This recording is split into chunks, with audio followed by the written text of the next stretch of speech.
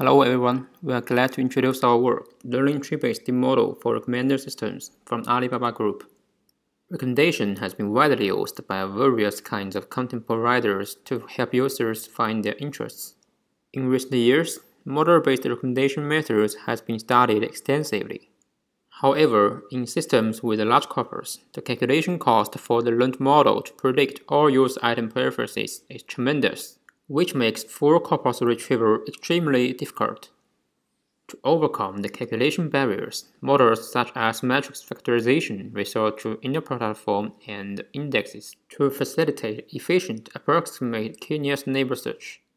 But it still remains challenging to incorporate more expressive interaction forms between user and item features, such as deep neural network. Actually, Hierarchical structure of information ubiquitously exists in many domains. For example, iPhone is the fine-grained item while smartphone is the coarse-grained concept to which iPhone belongs.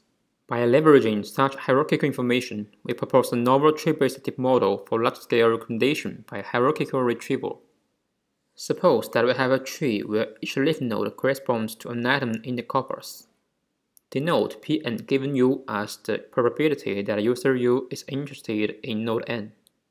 To find top k leaf nodes with the largest probability, the model has to traverse the entire corpus. However, if we have a tree that each node's probability satisfies the max heap-like property, we can retrieve the top k leaf nodes top-down in logarithmic complexity.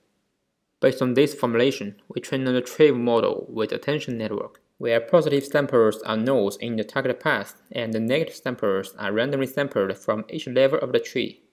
Our offline experiments show that the proposed tree-based method achieves state-of-the-art performance in two large-scale real-world datasets, including MovieLens 20 million and user behavior dataset from Taobao.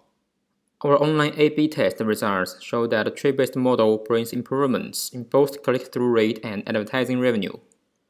If you are interested in this work, welcome to refer to our paper for more details. Thank you.